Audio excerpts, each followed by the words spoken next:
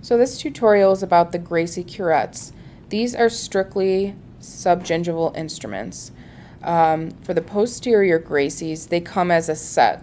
So in your kit, you're going to have the 11, 12, 13, 11, 12, 13, 14.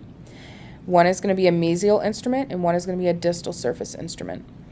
Um, in your advanced perio kits, you'll have another set of the 15, 16, 17, 18. So, but for, the, for purposes here, just learning, we're going to have the 11, 12, 13, 14. So the 11, 12, or the less complex shank, is going to be from mesial surfaces. The more complex shank, or bigger bend here, is going to be the 13, 14 for distal surfaces only.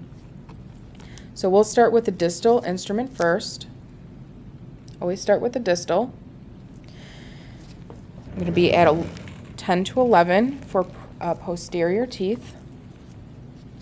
And just like the universal curettes, you want to hug that corner of the tooth right at the distal line angle, and we're going to insert at a zero degree or closed angle uh, insertion again.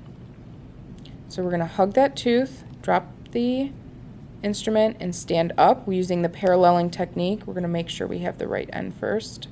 So that's parallel. This is not. So I know I have the correct end.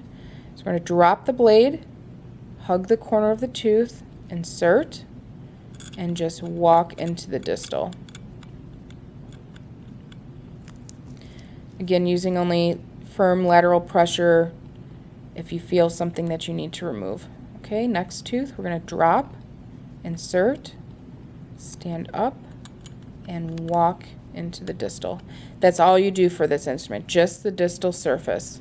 So it goes really quickly. So I do all the distal surfaces of the quad that I'm working on first, and then I go to my mesial instrument and do all the mesial surfaces. For the mesial surface, this one is a little bit harder to tell the correct end, but again, we're looking at the bend here and the functional shank will go up and over the tooth that you're working on. So we can put it in the distal just to make sure we have the correct end. So my functional shank is going up over the tooth I want to work on and is parallel with the long axis of the tooth. This one is not. So here we have the correct end, even though we're going to move mesially. We're going to point the tip toward the mesial surface. We're going to start at the distal line angle, closed angle insertion at the distal line angle, stand up, and we're going to just walk along.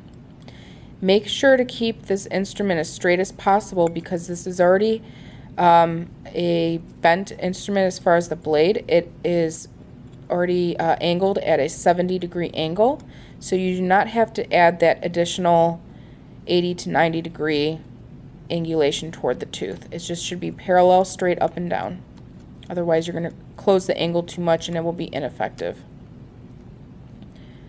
Next tooth.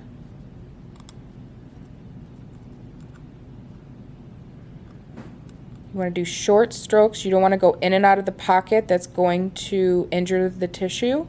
You want to stay down underneath the gum line as you move. Do not go in and out of the tissue